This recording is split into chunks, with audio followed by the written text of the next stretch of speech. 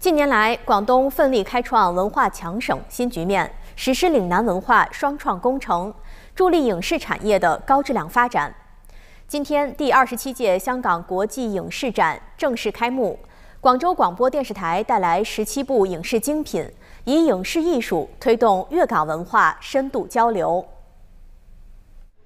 第二十七届香港国际影视展从今天起至三月十六号，在香港会议展览中心举行。现场七百个参展商阵容鼎盛，在广东馆内，各参展机构带来过百部影视作品和多个影视拍摄基地示范，实现广东影视领域的双强展示。廣東咧係我哋最大嘅代表團之一嚟嘅，今次我哋有成超過四十個參展商喺度。國際影視展呢個平台咧係好好一個機會咧，俾佢哋接觸到海外嘅一啲買家，向佢哋好好宣傳一下現在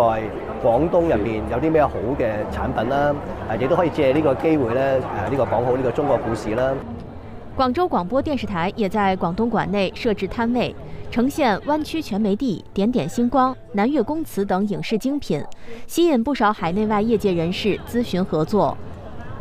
今年真系好墟冚，其实我哋嘅创作系冇停过嘅。所以今次積累到誒十七部嘅作品啊，總共拎咗上嚟。誒香港嘅同行對我哋啲作品都好關注下嘅，都會嚟問誒幾時喺香港上演啊？咁我哋都係經過咗今次呢個誒影展呢個舞台啊，呢個平台咧，同好多嘅版權商咧就進行咗接洽嘅。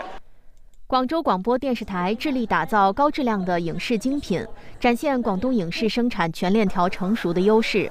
以影视艺术促进粤港文化交流，推动大湾区电影产业高质量发展。借着香港国际影视展的举办，三月十五号，曾获第三十三届中国电影金鸡奖最佳儿童片奖的《点点星光》也将登陆香港院线，在香港电影院进行首映，持续释放广东电影的影响力。